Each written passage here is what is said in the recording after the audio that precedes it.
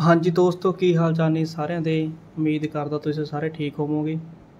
ਅੱਜ ਦੀ ਵੀਡੀਓ ਤੁਹਾਡੇ ਸਭ ਲਈ ਬਹੁਤ ਹੀ ਖਾਸ ਹੋ ਸਕਦੀ ਹੈ, ਕਿਉਂਕਿ ਇਹ ਵੀਡੀਓ ਦੇ ਵਿੱਚ ਮੈਂ ਤੁਹਾਨੂੰ ਦੱਸੂਗਾ ਕੈਨੇਡਾ ਦਾ ਆਪਾਂ ਸਟੂਡੈਂਟ ਵੀਜ਼ਾ ਵਿਜ਼ਟਰ ਵੀਜ਼ਾ ਜਾਂ ਸੁਪਰ ਵੀਜ਼ੇ ਲਈ ਆਪਾਂ ਜਿਹੜੀ ਫੋਟੋ ਅਪਲੋਡ ਕਰਨੀ ਹੁੰਦੀ ਆਪਣੀ ਫਾਈਲ ਵਾਸਤੇ, ਉਹ ਆਪਾਂ ਘਰ ਬੈਠੇ ਹੀ ਕਿੱਦਾਂ ਬਣਾ ਸਕਦੇ ਹਾਂ।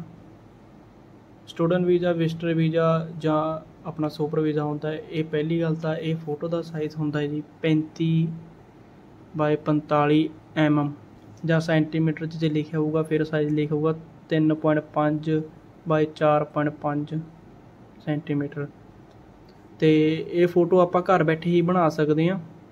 ਤੇ ਇਹਦੇ ਲਈ ਆਪਾਂ ਨੂੰ ਆਪਣੇ ਲੈਪਟਾਪ ਜਾਂ ਆਪਣੇ ਪੀਸੀ ਦੇ ਵਿੱਚ ਸੌਫਟਵੇਅਰ ਚਾਹੀਦਾ ਹੈ ਫੋਟੋਸ਼ਾਪ ਫੋਟੋਸ਼ਾਪ ਹੋਣਾ ਬਹੁਤ ਜ਼ਰੂਰੀ ਹੈ ਕਿਉਂਕਿ ਫੋਟੋਸ਼ਾਪ ਦੇ ਵਿੱਚ ਹੀ ਇਹ ਫੋਟੋ ਬਣੀ ਜਾਊਗੀ। ਮੈਂ ਤੁਹਾਨੂੰ ਇੱਕ ਫੋਟੋ ਰੈਡੀ ਕਰਕੇ ਦਿਖਾਉਂਦਾ ਵੀ ਇਹ ਫੋਟੋ ਕਿਵੇਂ ਆਪਾਂ ਘਰ ਬੈਠੇ ਬਣਾ ਸਕਦੇ ਹਾਂ। ਕਿ ਹਾਂ ਥੋੜਾ ਬਹੁਤ ਤੁਹਾਨੂੰ ਫੋਟੋਸ਼ਾਪ ਚਲਾਉਣਾ ਆਉਣਾ ਚਾਹੀਦਾ ਆ ਇਹ ਫੋਟੋ ਬਣਾਉਣ ਵਾਸਤੇ। ਪਹਿਲਾਂ ਮੈਂ ਤੁਹਾਨੂੰ ਸਟੈਪ ਬਾਈ ਸਟੈਪ ਦੱਸੀ ਜਾਂਦਾ ਦੋ ਚਾਰ ਸਟੈਪ ਨੇ ਫਸ ਉਹ ਫੋਲੋ ਕਰਨੇ ਆ। 80% ਫੇਸ ਹੁੰਦਾ ਹੈ। ਇਸ ਫੋਟੋ ਵਿੱਚ 35 45 mm ਫੋਟੋ ਦਾ ਸਾਈਜ਼ ਹੁੰਦਾ ਆ। ਤੇ ਆਜੋ ਚਲੋ ਸ਼ੁਰੂ ਕਰਦੇ ਹਾਂ। ਹਾਂਜੀ, ਤਾਂ ਸਭ ਤੋਂ ਪਹਿਲਾਂ ਆਪਾਂ ਨੂੰ ਇੱਕ ਫੋਟੋ ਚਾਹੀਦੀ ਆ। ਫੋਟੋ ਮੈਂ ਤੁਹਾਨੂੰ ਦੱਸ ਦਿੰਦਾ, ਇਹ ਚ ਆਪਾਂ ਨੂੰ ਫੋਟੋ ਕਿਸ ਤਰ੍ਹਾਂ ਚਾਹੀਦੀ ਹੁੰਦੀ ਆ ਆ। ਇੱਕ ਆਪਾਂ ਫੋਟੋ ਓਪਨ ਕਰ ਲੈਂਦੇ ਆ ਫਾਈਲ ਨੂੰ। ਫੋਟੋਸ਼ਾਪ ਅਡੋ ਫੋਟੋਸ਼ਾਪ ਦੇ ਵਿੱਚ ਇਹਨੂੰ ਫਾਈਲ ਨੂੰ ਆਪਾਂ ਓਪਨ ਕਰ ਲੈਣਾ। ਕੈਨੇਡਾ ਦੀ ਜਿਹੜੀ ਫੋਟੋ ਹੁੰਦੀ ਹੈ, ਇਹਦੇ ਵਿੱਚ ਸਿਰਫ ਕੁਝ ਚੀਜ਼ਾਂ ਆਪਾਂ ਧਿਆਨ ਰੱਖਣੀ ਹੁੰਦੀਆਂ ਨੇ ਫੋਟੋ ਦੇ ਵਿੱਚ। ਇੱਕ ਤਾਂ ਇਹਦੇ ਵਿੱਚ ਆਪਾਂ ਫੇਸ ਦੀ ਫਿਨਿਸ਼ਿੰਗ ਨਹੀਂ ਕਰ ਸਕਦੇ, ਕੋਈ ਐਡੀਟਿੰਗ ਨਹੀਂ ਕਰ ਸਕਦੇ ਹੈਗੇ, ਕਿਉਂਕਿ ਉੱਥੇ ਰੀਅਲ ਉਹਨਾਂ ਨੂੰ ਫੇਸ ਚਾਹੀਦਾ ਹੁੰਦਾ। ਇੱਕ ਇਹ ਫੋਟੋ ਥੋੜੀ ਜਿਹੀ ਡਾਰਕ ਹੁੰਦੀ ਹੈ।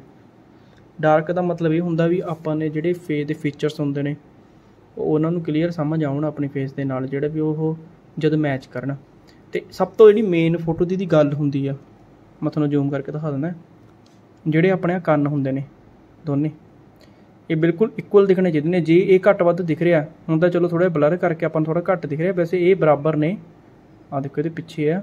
ਤੇ ਇਹ ਬਿਲਕੁਲ ਇਕੁਅਲ ਦਿਖਦੇ ਹੁੰਦੇ ਨੇ। ਜੇ ਇਹ ਬਰਾਬਰ ਆਪਾਂ ਨੂੰ ਦਿਖਦੇ ਨੇ ਤਾਂ ਇਹਦਾ ਮਤਲਬ ਇਹ ਆ ਵੀ ਆਪਾਂ ਨੂੰ ਫੋਟੋ ਇਹ ਸਿੱਧੀ ਆ।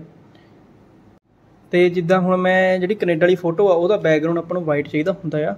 ਤੇ ਜਿਹੜੀ ਮੇਰੀ ਫੋਟੋ ਕਲਿੱਕ ਕੀਤੀ ਇਹਦੇ ਇਹਦਾ ਪਹਿਲਾਂ ਤੋਂ ਹੀ ਵਾਈਟ ਆ। ਕਈ ਵਾਰੀ ਆਪਣੀ ਫੋਟੋ ਦੇ ਵਿੱਚ ਜਿਵੇਂ ਕਰੀਮ ਬੈਕਗ੍ਰਾਉਂਡ ਹੁੰਦਾ ਜਾਂ ਕੋਈ ਡਾਰਕ ਹੁੰਦਾ ਆ। ਆਪਾਂ ਉਹਨੂੰ ਵਾਈਟ ਬੈਕਗ੍ਰਾਉਂਡ ਆਪਾਂ ਨੂੰ ਕਿਵੇਂ ਕਰ ਸਕਦੇ ਆ? ਮੰਨ ਲਓ ਮੈਂ ਹੁਣ ਇਹਦਾ ਪਹਿਲੀ ਵਾਈਟ ਆ, ਮੈਂ ਤੁਹਾਨੂੰ ਇੱਕ ਐਗਜ਼ਾਮਪਲ ਤੌਰ ਤੇ ਦੱਸ ਦਿੰਦਾ ਵੀ ਮੰਨ ਲਓ ਆਪਾਂ ਆਪਣੀ ਫੋਟੋ ਦਾ ਬੈਕਗ੍ਰਾਉਂਡ ਬਲੂ ਕਰਨਾ। ਠੀਕ ਹੈ ਬਲੂ ਤੇ ਲੈ ਕੇ ਓਕੇ ਕਰਤਾ। ਠੀਕ ਹੈ ਕਲਰ ਆਪਾਂ ਇੱਥੋਂ ਜਿਹੜਾ ਨੀਚੇ ਵਾਲਾ ਕਲਰ ਹੁੰਦਾ, ਇਹ ਆਂਦਾ ਹੁੰਦਾ। ਤੇ ਆ ਉੱਤੇ ਆ ਬ੍ਰਸ਼ ਵਾਲਾ ਹੁੰਦਾ ਕਲਰ ਆ ਨੀਚੇ ਵਾਲਾ ਇਹਦੇ ਬੈਕ ਤੇ ਕਲਰ ਆਊਗਾ। ਇੱਥੇ ਮੈਜਿਕ ਟੂਲ ਹੁੰਦਾ ਇੱਥੇ ਕਈ ਦੋ ਟੂਲ ਨੇ, ਆਪਾਂ ਮੈਜਿਕ ਟੂਲ ਆਪਾਂ ਸਿਲੈਕਟ ਕਰ ਲਿਆ। ਮੈਜਿਕ ਟੂਲ ਦਾ ਇਹ ਆਪਾਂ ਨੂੰ ਬੈਨੀਫਿਟ ਹੁੰਦਾ ਵੀ ਆਪਾਂ ਨੂੰ ਸਿਲੈਕਸ਼ਨ ਨਹੀਂ ਕਰਨੀ ਪੈਂਦੀ ਹੁੰਦੀ। ਆਪਾਂ ਸਿੱਧਾ ਇੱਥੇ ਜਿਵੇਂ ਅਪਲਾਈ ਕਰ ਸਕਦੇ ਆ ਆ ਦੇਖੋ ਜਿਵੇਂ ਇਹਨੇ ਆਪਾਂ ਕਲਿੱਕ ਕੀਤਾ। ਵਨ ਕਲਿੱਕ ਦੇ ਵਿੱਚ ਹੀ ਇਹਨੇ ਆਪਣਾ ਬੈਕਗ੍ਰਾਉਂਡ ਦਾ ਸੇਮ ਕਲਰ ਸੀ ਉਹਨੇ ਫੜ ਲਿਆ। ਇਹਨੂੰ ਫਿਲ ਕਰਨ ਦੇ ਲਈ ਆਪਾਂ ਕੀ ਕਰਾਂਗੇ? Control plus backspace click ਕਰਾਂਗੇ। ਬਲੂ ਕਲਰ ਹੋ ਗਿਆ। ਉਦਾਂ ਹੀ ਆਪਣਾ ਹੋਰ ਕੋਈ ਕਲਰ ਹੈਗਾ ਤਾਂ ਆਪਾਂ ਉਹਨੂੰ ਵਾਈਟ ਕਰਾਂਗੇ। ਆਪਾਂ ਨੂੰ ਵਾਈਟ ਹੀ ਚਾਹੀਦਾ ਕੈਨੇਡਾ ਦੀ ਫੋਟੋ ਵਾਸਤੇ। ਕੰਟਰੋਲ ਡੀ ਨਾਲ ਆਪਾਂ ਸਿਲੈਕਸ਼ਨ ਹਟਾ ਸਕਦੇ ਹਾਂ।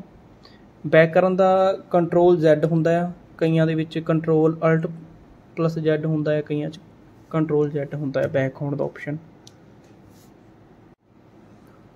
ਫੋਟੋ ਦਾ ਜਦੋਂ ਆਪਾਂ ਸਾਈਜ਼ ਦੇਣਾ ਆ ਕੁਝ ਵੀ ਔਖਾ ਨਹੀਂ ਕਰੋਪ ਦੇ ਵਿੱਚ ਜਾਣਾ ਆ।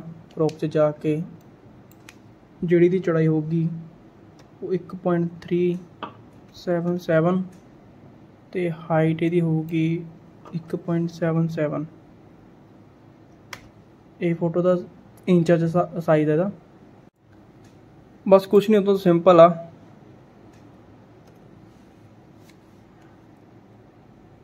ਕਰੋਪ ਵਾਲਾ ਟੂਲ ਆਪਾਂ ਓਪਨ ਕੀਤਾ। ਫੋਟੋ ਨੂੰ ਆਪਾਂ ਸਾਈਜ਼ ਦਿੱਤਾ।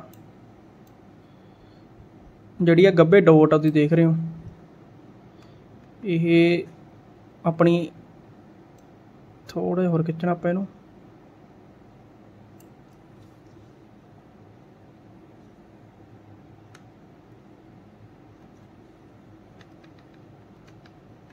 ਬਸ।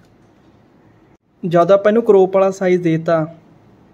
ਤਾਂ ਇਹਦਾ ਜਿਹੜਾ 80% ਫੇਸ ਆ, ਉਹ ਆਪਣੀ ਜਿਹੜੀ ਨੱਕ ਆ, ਉਹਦੀ ਸੀ ਚ ਥੋੜਾ ਜਿਹਾ ਅੱਖਾਂ ਤੋਂ ਨੀਵੇਂ ਇੱਥੇ ਹੁੰਦਾ 80% ਫੇਸ ਤੁਹਾਨੂੰ ਮੈਂ ਚੈੱਕ ਵੀ ਕਰਾ ਦਿੰਦਾ।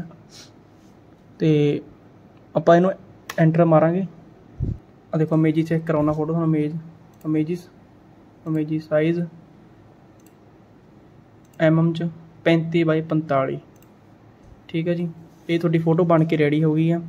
ਇਹਨੂੰ ਆਪਾਂ ਸੇਵ ਕਿਵੇਂ ਕਰਨੀ ਆ? ਫਾਈਲ 'ਚ ਜਾਣਾ ਆ। ਸੇਵ 'ਚ ਜਾਣਾ ਆ। ਇਹਨੂੰ ਆਪਾਂ JPG ਫਾਰਮੈਟ 'ਚ ਹੀ ਰੱਖਾਂਗੇ। ਜਿਹੜੀ ਉਹ PDF ਬੋਲਦੇ ਨੇ, ਉਹ ਵੀ JPG ਹੀ ਬੋਲਦੀ ਹੁੰਦੀ ਆ ਉਹ।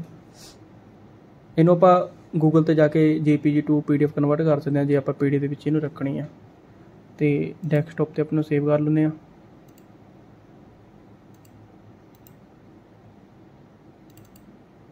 ਤੇ ਆ ਆਪਣੀ ਫੋਟੋ ਆ ਗਈ ਜੀ 35 45 ਬਹੁਤ ਈਜ਼ੀ ਹੈ ਇਹ। ਕੋਈ ਇਹਦੇ ਚ ਇੰਨਾ ਉਹ ਨਹੀਂ ਹੈਗਾ। ਜੇ ਫੋਟੋ ਆਪਾਂ ਪ੍ਰਿੰਟ ਕਰਨੀ ਆ, ਤਾਂ ਉਹ ਵੀ ਬਹੁਤ ਈਜ਼ੀ ਆ। ਕੰਟਰੋਲ ਏ ਕਰਨਾ ਹੈ। ਤੇ ਹਾਂ, ਸੱਚ ਇਹ ਫੋਟੋ ਨੂੰ ਬਾਰਡਰ ਨਹੀਂ ਹੁੰਦਾ ਹੈਗਾ। ਮਤਲਬ ਇਹ ਫੋਟੋ ਜਿਵੇਂ ਆਮ ਪਾਸਪੋਰਟ ਸਾਈਜ਼ ਫੋਟੋ ਨੂੰ ਬਾਰਡਰ ਹੁੰਦਾ, ਤਾਂ ਫੋਟੋ ਨੂੰ ਬਾਰਡਰ ਨਹੀਂ ਹੁੰਦਾ ਹੈਗਾ। ਤੇ ਆਪਾਂ ਉਹ ਤੋਂ ਬਾਅਦ ਇਹਨੂੰ ਫੋਟੋ ਨੂੰ ਆਪਾਂ ਬਾਰਡਰ ਲਾ ਲੈਣਾ। ਇਹ ਲੈਫਟ ਕਲਿੱਕ ਕਰਕੇ ਮਾਊਸ ਤੇ। ਸਟ੍ਰੋਕ ਤੇ ਕਲਿੱਕ ਕਰਿਆ। ਕੋਈ ਲਾਉਣਾ ਆਪਾਂ? ਇਹ ਜਿਹੜਾ ਮੈਂ ਲਾਉਣ ਲੱਗਿਆ, ਸਿਰਫ ਕਟਿੰਗ ਲਈ ਲਾਉਣ ਲੱਗਿਆ। ਹਲਕਾ ਜਿਹਾ ਲਾਉਣਾ ਬਸ। ਵੀ ਆਪਾਂ ਨੂੰ ਕਟਿੰਗ ਕਰਨ ਲੱਗੇ ਫੋਟੋ ਦਿਖੇ। ਨਵੀਂ ਸ਼ੀਟ ਖੋਲਣ ਵਾਸਤੇ ਕੰਟਰੋਲ ਇਨ ਕਰਨਾ ਹੈ। ਇਹਨੂੰ ਇੰਚਾਂ 'ਚ ਕਰ ਲੈਣਾ ਸ਼ੀਟ ਜਿੰਨੀ ਆਪਣੇ ਹੈਗੀ ਆ 5/7 ਦੀ 4/6 ਦੀ ਜਿੰਨੀ ਦੀ ਹੈਗੀ ਆ, ਉਹਨੇ ਕਲਿੱਕ ਕਰ ਲੈਣੀ ਆ। ਇਹਨੂੰ ਰੋਟੇਟ ਕਰ ਲੈਣਾ ਕੰਟਰੋਲ ਵੀ ਕਰਕੇ ਫੋਟੋ ਇੱਕ ਆ ਜਾਊਗੀ। ਸੌਰੀ ਉਹ ਫੋਟੋ ਆਪਾਂ ਸਿਲੈਕਸ਼ਨ ਕਰਨੀ ਆ। Control A selection control C copy ਤੇ ਇੱਧਰ ਆ ਕੇ ਆਪਾਂ ਫੋਟੋ ਨੂੰ ਕੰਟਰੋਲ V ਕਰ ਦੇਣਾ ਫੋਟੋ ਆ ਗਈ।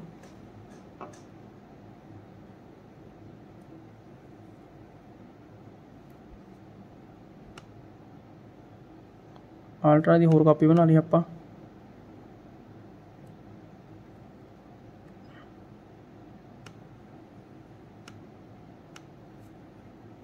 ਲੇਅਰਾਂ ਆਪਾਂ ਸਾਰੀ ਸਿਲੈਕਟ ਕਰ ਲਿਆ ਕੰਟਰੋਲ ਕਰਕੇ ਕੰਟਰੋਲ ਈ e ਕਰਕੇ ਲੇਅਰਾਂ ਮਰਜ ਹੋ ਗਈਆਂ।